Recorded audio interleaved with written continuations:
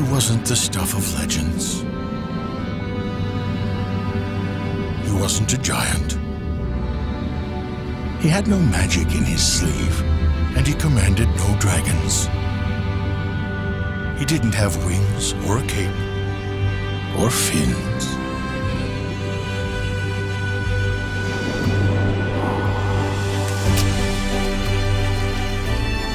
He was but just a man.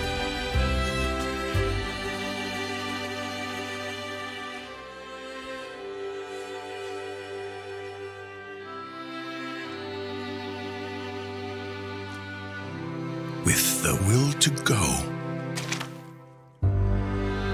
beyond.